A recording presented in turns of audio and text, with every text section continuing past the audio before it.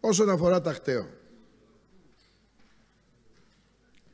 Είναι αλήθεια ότι για να ξεκαθαρίσουμε γιατί τέθηκαν τα ερωτήματα αυτά, αν πιστεύουμε στο δημόσιο τομέα. Προφανώς και πιστεύουμε στο δημόσιο τομέα.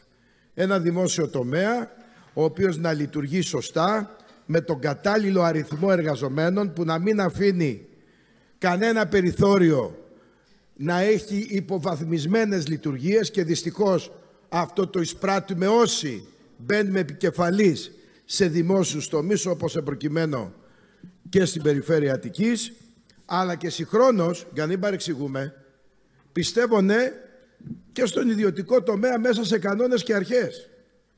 Πιστεύω δηλαδή στην παράλληλη δυνατότητα του δημόσιου τομέα και του ιδιωτικού τομέα.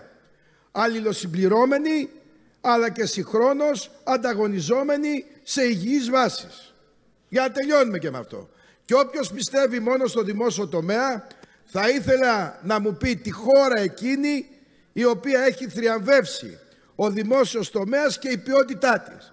Εάν λέμε τον ιδεατό δημόσιο τομέα, τα οποία διάβαζα και εγώ στο κεφάλαιο του Μάρξ, προφανώς νομίζω ότι πρέπει... Τι να κάνουμε κύριε πρώην αντι, αντι, αντιπεριφερειάρχη των οικονομικών.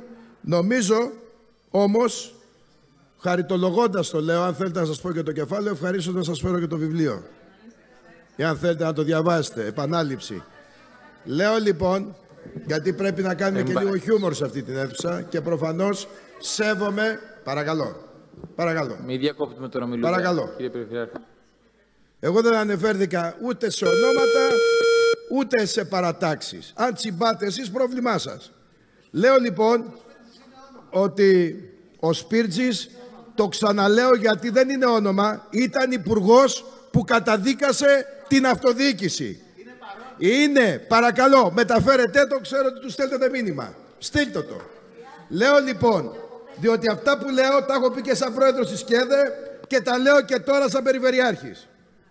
Δεν κρύβομαι και μπορεί να συνυπήρξαμε στο Σύνταγμα ως πρόεδρος του Ιατρικού Συλλόγου Αθηνών και εκείνος πρόεδρος του ΤΕΕ μόνο που ξεχάστηκε μετά και πήγε αντίστροφα. Λέω λοιπόν ότι στην φάση αυτή θα πρέπει να κατανοήσουμε λοιπόν ότι εμείς δεν κλείσαμε χταίο. Το ότι βέβαια υπάρχουν χταίο του ιδιωτικού τομέα που παράγουν έργο, ναι, υπάρχουν χταίο και ξέρω συγκεκριμένα που παράγουν έργο. Δεν κατάλαβα δηλαδή. Πρέπει να διαπομπεύουμε σόν και καλά τον ιδιωτικό τομέα. Δεν το κατάλαβα. Κανόνες να έρχει και έλεγχο. Και ένα μεγάλο πρόβλημα της Περιφερειακής Αρχής είναι ότι ο δημόσιος τομέας που θριαμβεύει και στην Ελλάδα, όπου υπάρχει, δεν έχει το κατάλληλο προσωπικό να κάνω τον έλεγχο στον ιδιωτικό τομέα. Αυτό είναι ένα θέμα. Να κάτσουμε να το συζητήσουμε και να βγάλουμε και ομόφωνες αποφάσεις για τις κεντρικές κυβερνήσεις οι οποίες δεν αφήνουν την αυτοδιοίκηση να αυτοδιοικηθούν αλλά μας δίνουν να κάνουμε τον έλεγχο χωρίς όπλα. Εκεί είτε ήταν η κυβέρνηση του Ανταρσία ήταν η κυβέρνηση Νέας Δημοκρατίας μαζί να διεκδικήσουμε. Από εκεί και πέρα.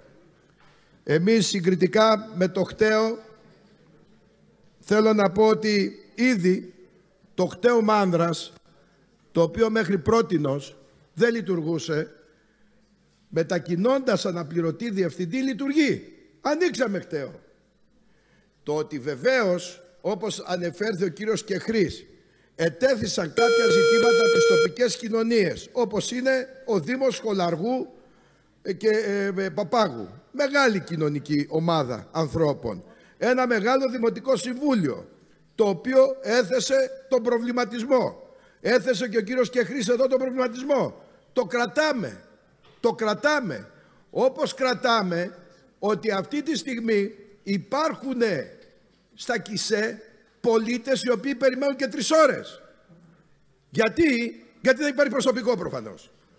Και γι' αυτό κύριε Δόλγερα σας έχω πει και εσείς έχετε αυτές τις μέρες ήδη δημιουργήσει και πολύ σύντομα θα μπορέσουμε να δώσουμε στην ελληνική κοινωνία τα χταίο τα οποία πλέον δεν θα συνοστίζουν τους πολίτες εδώ, αλλά θα μπορούν μέσα από τα ΚΕΠ του, μάλλον τα ΚΕΠ, συγγνώμη, του Υπουργείου Μεταφορών να μπορούν να δίνουν τα διπλώματα και οτιδήποτε άλλο στους ενδιαφερόμενους, στους δήμους τους, μέσα από τα ΚΕΠ τους. Αυτό είναι μια μεγάλη καινοτομία την οποία σύντομα θα δώσουμε στην Αττική.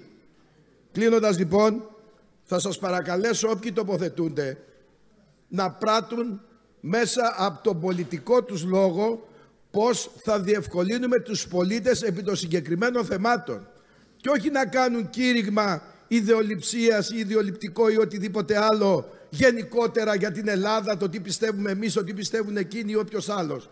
Επί των συγκεκριμένων ζητημάτων θα παρακαλέσω κύριε Πρόεδρε να λένε την άποψή τους και να μπορούμε να βλέπουμε λύσεις. Σας ευχαριστώ. Ευχαριστούμε κύριε Περιφερειάρχα.